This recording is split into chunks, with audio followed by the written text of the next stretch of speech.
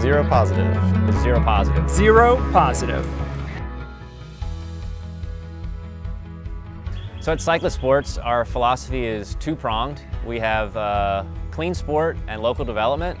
Uh, under clean sport, our, our motto is zero positive. Um, and it's pretty self-explanatory to where we have zero tolerance for positive doping. That being riders that test positive, that being people that, riders dealing with others that have tested positive or have an influence in that aspect of the sport. Uh, we honestly feel like that does not belong in the sport. It needs to be a very level playing field.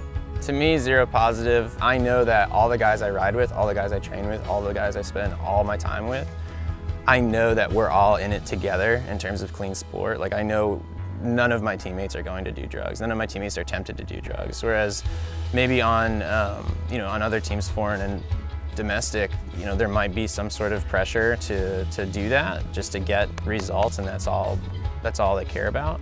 But for us, our team is in place to, to influence the direction of pro cycling. So by giving us all a really strong foundation on which we can feel really comfortable and perform to the best of our abilities. The second prong being local development, where we aim to develop local riders aspiring to be professionals, uh, and we really want to invest in riders that can grow with the company into the future.